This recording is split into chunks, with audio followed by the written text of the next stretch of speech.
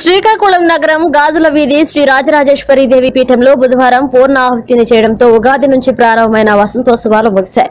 దేవి ఉపాసకులు షణ్ముఖ వెంకట్రావు గురువు గారి ఆధ్వర్యంలో తొమ్మిది రోజుల అభిషేకములు కుంకుమార్చనలు పూజలు జరిగాయి.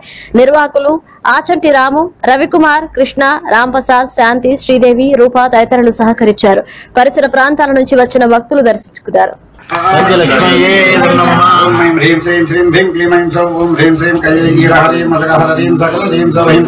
శ్రీం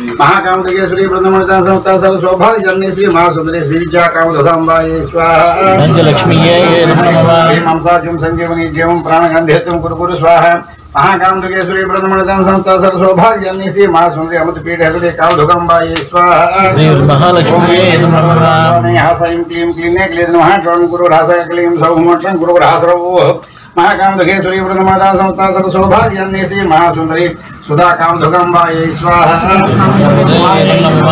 ॐ सा अमृते अमृतोद्भे अमृतेश्वरी अमृतोषिणी अमृतं श्रावय श्रावय स्वाहा महाकामधुके सूर्यव्रतमाता समता सर्वसौभाग्यान्ने श्रीमहासुन्दरी सुधाकामधुकेश्वरी कामधुकम्बायै स्वाहा पञ्चलक्ष्मीयै नमः